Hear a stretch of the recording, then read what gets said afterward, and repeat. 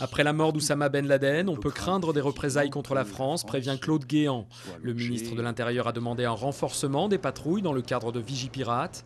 L'an dernier en France, 96 personnes ont été interpellées pour des actions en relation avec le terrorisme, rappelle-t-il, s'inquiétant aussi des menaces contre les intérêts français et les Français à l'étranger.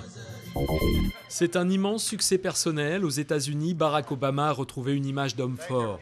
La mort de Ben Laden, ennemi numéro un de l'Amérique, offre un répit au président empêtré dans la crise et les guerres. Cette opération réussie suscite un concert de louanges et devrait lui offrir des bénéfices politiques immédiats alors qu'il vient d'entrer en campagne pour sa réélection en 2012.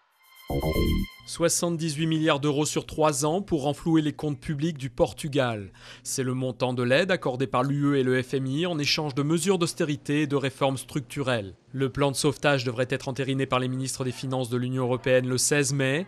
Un délai crucial, le Portugal doit rembourser 5 milliards d'euros de dettes moins d'un mois plus tard. Une manifestation à Paris, des grèves d'audience annoncées à Nantes, Rennes, Lyon ou Bordeaux. Les avocats se mobilisent pour demander une meilleure rémunération de leur assistance renforcée dans le cadre de la garde à vue nouvelle formule. Ils estiment que la réforme nécessite une hausse de l'aide juridictionnelle versée par l'État pour assurer la défense des personnes à revenus modestes. En Ligue des Champions, Barcelone écarte le Real et se qualifie pour la finale de Wembley. Un match nul à domicile a suffi au triple vainqueur de l'épreuve face à son rival historique, battu 2-0 lors du match aller à Madrid. Les Catalans connaîtront leur futur adversaire ce soir. Manchester United est grand favori face aux Allemands de Schalke 04.